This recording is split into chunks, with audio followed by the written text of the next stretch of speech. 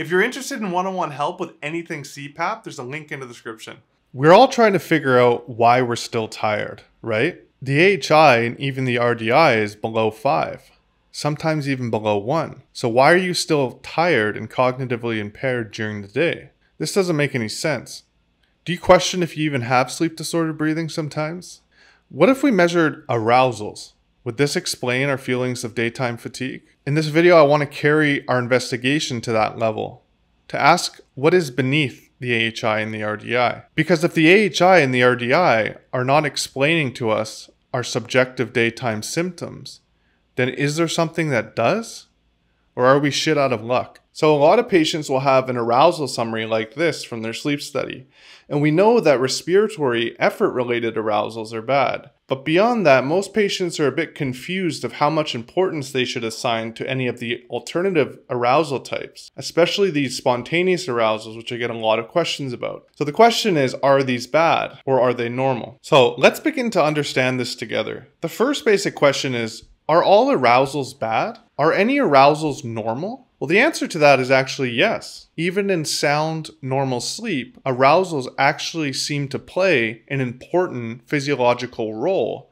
And so the presence of arousals, as measured on EEG, is not enough to illustrate that there is a problem with sleep because some number of arousals is considered normal. Well, what is that number? How many are normal? This is actually well established in the literature. There's a little bit of variation between studies, but they all kind of fall around similar numbers, and they seem to go up as we age. Here's one such study the arousal index according to total sleep time. This is in normal sleepers. For teenagers, it's about 13.8 spontaneous arousals per hour. Standard deviation can be seen in parentheses. For young adults, it's 14.7. Middle aged, about 17.8. You can see it's gone up quite a bit. And then for the elderly, it's about 27.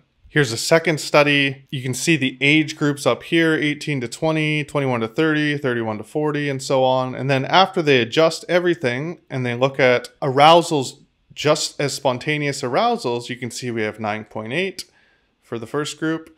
10.1, 16, 14.9, 16, 21 as we get a lot older, and so on. And here you can see the relationship of the spontaneous arousal index with age. You can see here's the arousal index on the y axis and the age on the x axis. So this line is just showing, these are all the dots.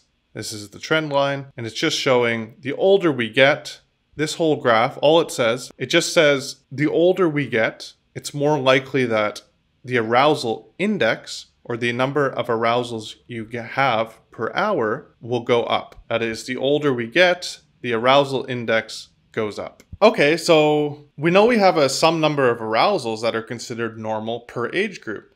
So can't we just add arousals on top of those averages and then get an idea for how many arousals are abnormal that are on top of the normal spontaneous arousals? Well, unfortunately, it's not that simple. It's actually a little bit more complicated than that. Let's ask another simple question. We'll come back to that complexity. And that question is well, what's the relationship between the number of arousals and sleepiness? So here are two little interesting graphs. On the left, we can see arousal index and AHI. And all this graph is saying is the higher the AHI, the, the higher the arousal index. That is, if we have a high AHI, it's reasonable to expect a high arousal index. It's not always the case, but the relationship is pretty strong. For example, this patient here has a very high AHI, but actually has a very low arousal index. And this patient here has a very high arousal index, but a low AHI.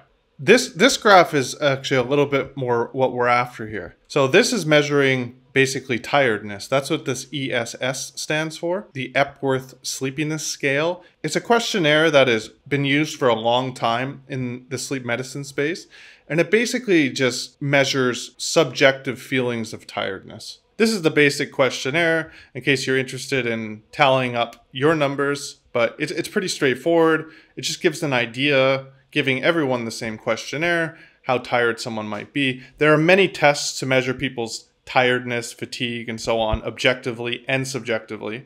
For example, there's the multiple sleep latent- latency test, which basically measures how long it takes someone to fall asleep in a super boring position. And all of these tests, what's important to understand is all these tests have severe limitations. It's pretty good. Let's, let's just put it there. Let's just say that. The TLDR is it's pretty good. So this graph is just asking, well, what's the relationship between the Epworth sleepiness scale and the arousal index?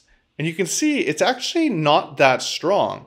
Strong would be a higher slope like this. But this slope isn't as high. You can see it's uh, it's much lower. You can see the dots are kind of all over the place. They're not clustered around this line there is a relationship, but it's not super reliable. And down here, you know, the author, the authors say this difference may be related to the limitations of the Epworth sleepiness scale, which is a fair statement.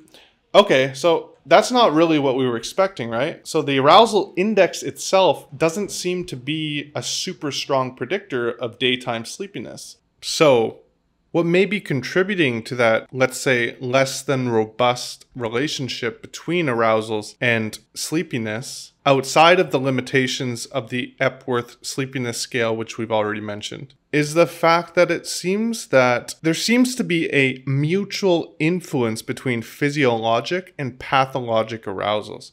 In other words, there's a lot of evidence that's suggesting that, for example, a respiratory effort related arousal could just take the place of a spontaneous arousal. And whether there are additional complications or not, it's kind of muddied because we're not counting an additional arousal. Does that make sense? For example, in sleep disordered breathing, a certain amount of respiratory induced arousals may simply replace spontaneous ones as expected from their natural distribution across the night. And to support that, for example, acoustic stimulation during sleep increases the amount of noise induced arousals and reduces the amount of spontaneous arousals. So the speculation here is that arousals due to disturbance may, in the process of that arousal, actually take care of some of the physiological process that may be taking place in the normal spontaneous arousals, and therefore the need for spontaneous arousals is reduced. So, this is all just to say, though, that arousals aren't exactly the ideal metric by which we can measure the sleepiness, excessive daytime sleepiness that we see in patients, because the relationship is pretty complicated. Now, again, it is important that we do acknowledge that more arousals is correlated with greater sleepiness. It's just a weaker correlation than I think most of us have in the back of our mind.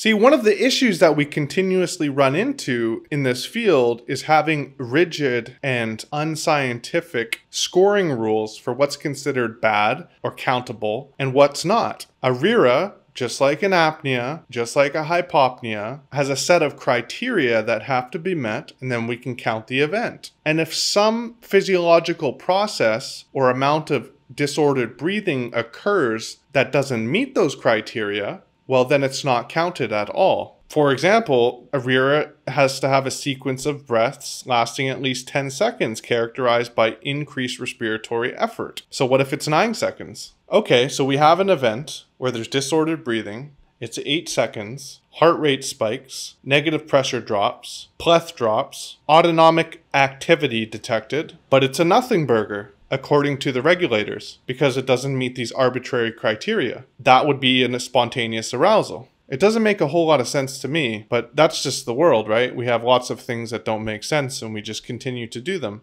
And so we must learn to navigate the nonsensical world in which we find ourselves. And so now that I've laid down all this context, I hope the destination at which I'm trying to have us arrive is becoming clear. The question becomes Are these spontaneous arousals truly spontaneous, normal arousals?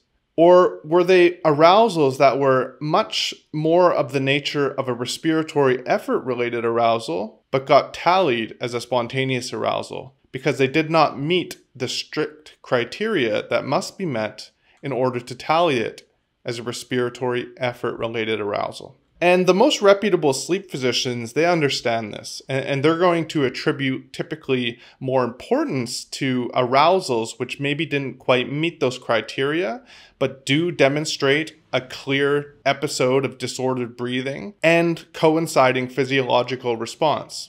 Now, the important thing to always remember is to ask ourselves in our current measurement, who are we forgetting? And although I did say, yes, many arousals, and of course, it's I'm not, this isn't just my opinion, it's what the literature shows, many arousals is bad, but it's not necessarily a super strong relationship. So, what are we to make of people who have a low amount of arousals, but perhaps feel terrible and present with daytime symptoms?